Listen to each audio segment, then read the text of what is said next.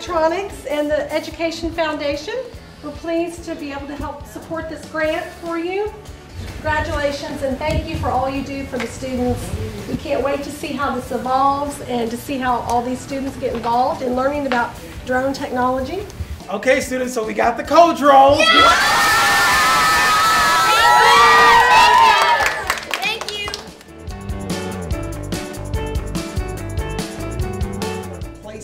So my name is Gregory Conely, and I'm a mechatronics designer at the Jerry Knight STEM Academy. The CoDrone is the name of the drone that RoboLink provided. That's who the drones actually come from. We got the money, of course, from the MISD Education Foundation and Mouser Electronics.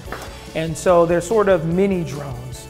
And the good thing about them is that they're not terribly complicated, where students can actually create, they can write, they can edit, they can upload the code through the software uh, that they install on their own computers. And they get so excited about the concepts behind how they work and, and why they work.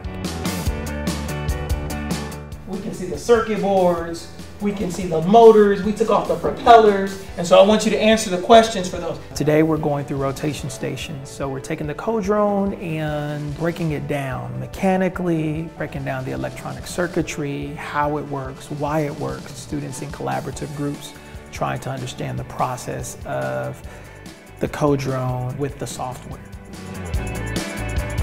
So we are learning about CoDrones from a grant that we got.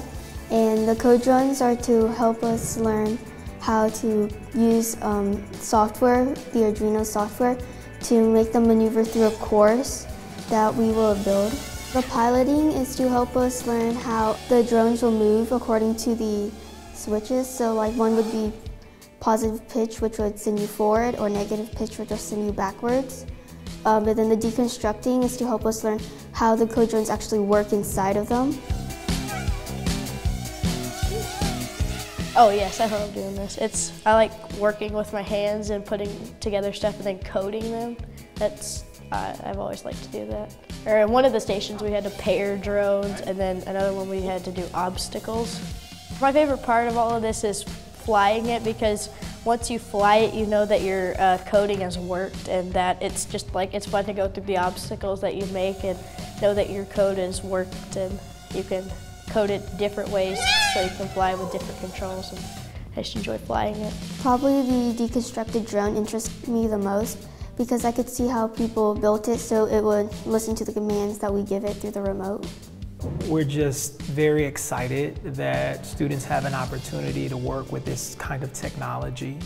And it takes a lot of vision from the organizations that made this grant possible, like Mouser Electronics, uh, the MISD Education Foundation. These folks um, showed a lot of innovation and vision for allowing the students to prep for next century types of careers and knowledge and concepts.